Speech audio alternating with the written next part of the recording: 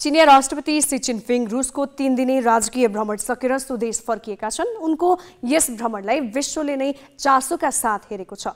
चासो पनि किन नहोस्? विश्व अर्थतन्त्र र राजनीतिलाई नै धराशयी बनाइरहेको रुस युक्रेन युद्धको निकास निस्कने आशा यस भ्रमणबाट गरिएको थियो। मुख्यत युद्ध अन्त्य गर्न चीनले प्रस्तुत गरेको बाह्र बुधे शान्ति प्रस्तावमाथि भ्रमण केन्द्रित थियो। रुसी राष्ट्रपति भ्लादिमिर पुटिन पनि उक्त प्रस्तावलाई आधार मानेर क्रेमलिन शान्ति वार्ता मार्फत युद्धको अन्त्य गर्न सकारात्मक रहेको बताइएको पनि छ। यद्यपि सीको यो भ्रमणले युद्ध तत्काल अन्त्य गर्ने ठोस निकास पनि निस्कन सकेको छैन।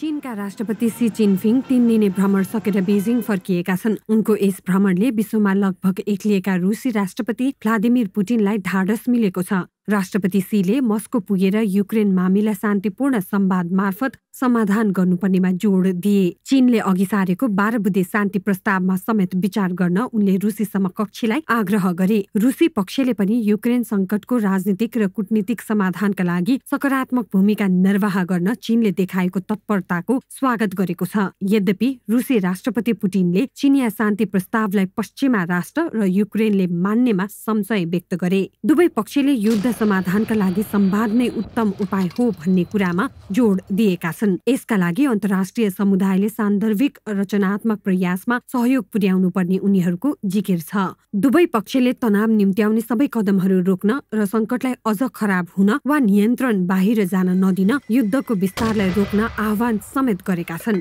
युक्रेन संकटमा संयुक्त राष्ट्र संघको बडा पत्रको उद्देश्य र सिद्धान्तको पालना गर्दै आएको चीनको दावी छ। साथै वस्तुगत तथा निष्पक्ष अडान लिएको र शान्ति वार्तालाई सक्रिय रूपमा मध्यस्थता गर्न सधैँ तयार रहेको उसको भनाइ छ। चीनले यस मामिलाको गुण दोषका आधारमा आफ्नो अडान राखेको र शान्ति र संवादका लागि दृढतापूर्वक उभिएको दावी गरेको छ। राष्ट्रपति सीको भ्रमणले जारी रुस युक्रेन युद्धको शान्तिपूर्ण अन्त्यको थोरै भए पनि आशा त जगाएको छ।